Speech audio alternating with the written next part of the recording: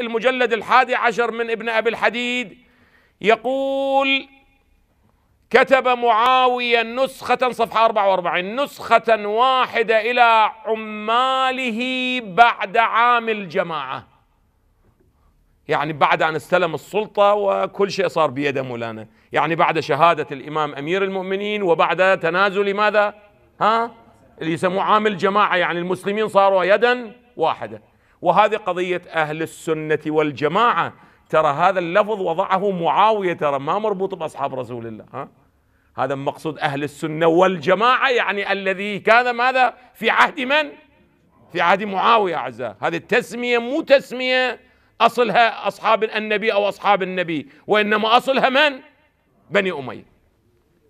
يقول كتب نسخة واحدة تعميم مولانا رسالة تعميم مولانا إلى كل الدوائر. إلى عماله أن برأت الذمة ممن روى شيئا من فضل أبي تراب وأهل بيته. إذا برأت الذمة يعني شنو مولانا؟ ها؟ يعني يعني اقطعوا عنا الراتب يعني يسجن يعني لا تقبل شهادته يعني لا تعطى لعطى وظيفة يعني يعني إلى آخره. مغضوب عليه.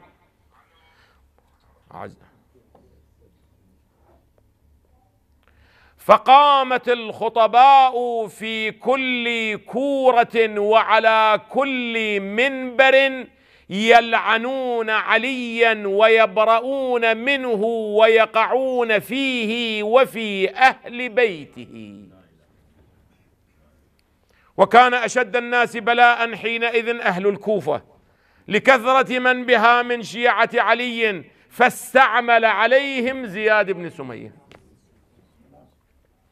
وضم إليه البصرة فكان يتتبع الشيعة. التفت زياد لماذا؟ لأنه كان منهم فد يوم انقلب عليهم. وهو بهم عارف لأنه كان منهم أيام علي. فيعرفهم فردا فردا مولانا.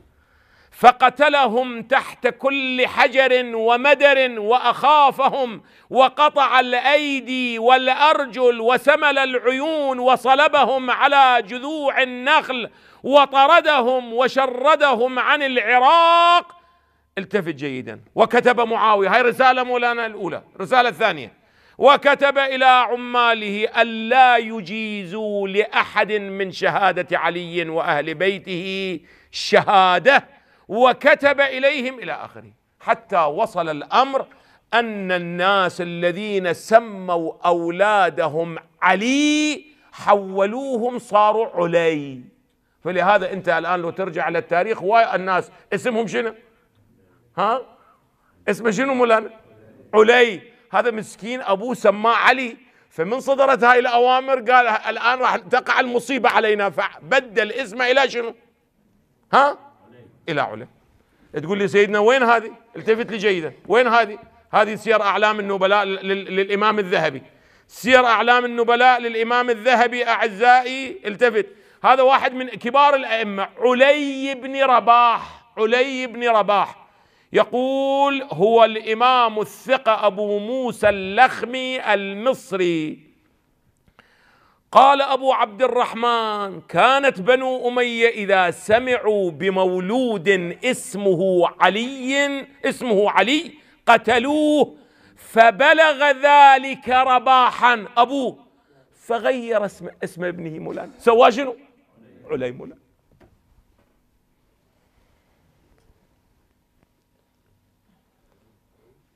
ثم شنو صدر أمر مولانا معاوية؟ التفتوا لي جيدا حتى تعرفون من جهة تسقيط شخصية منه؟ يعني أهل البيت سلام الله عليهم ومن جهة أخرى ماذا؟ ها؟ رفع شأن أعداء أهل البيت عليهم أفضل الصلاة والسلام التفت لي جيدا التفت أعزائي يقول ثم كتب إلى عماله أن الحديث في عثمان قد كثر وفشى في كل مصر وفي كل وجه وناحية. فإذا جاءكم كتابي هذا فادعوا الناس إلى الرواية في فضائل الصحابة والخلفاء الأولين. التفت جيدا التفت جيدا التفتوا لي أعزائي. ولا تتركوا خبرا يرويه أحد من المسلمين في أبي تراب إلا وتأتوني بمناقض له في الصحابة. إيش ما وردت رواية في فضائل علي بن أبي طالب إن تحولوها إلى ماذا؟ إلى طعن في علي وهذيك الفضيله حولوها علما إلى غيره.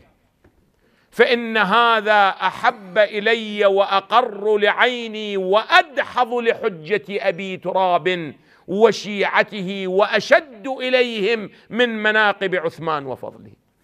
يقول مولانا هماتينا فبدأ منه فبدأ مولانا القراء والنساك والعلماء بطعن علي. وماذا؟ ها؟ ووضع الفضائل في حق مخالف. ونشأت أجيال على هذه أعزائي إلى إلى إلى زمن عمر بن عبد العزيز. عمر بن عبد العزيز تاريخ مولانا مئة من الهجرة. يعني حدود ستين سنة هذا الوضع كان مولانا هو أول من رفع اللعنة عن علي وأولاد علي وأهل بيته على المنابر مولانا. وإلا كان الوضع قد وصل إلى أمر أنه إن لم يبدأ باللعن لعن علي وآل علي. وإن لم يختم بذلك يقال له تركت السنة. وين السنة؟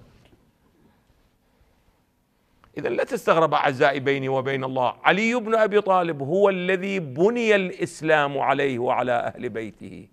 يصل الحال إلى أنه السنة تكون بماذا؟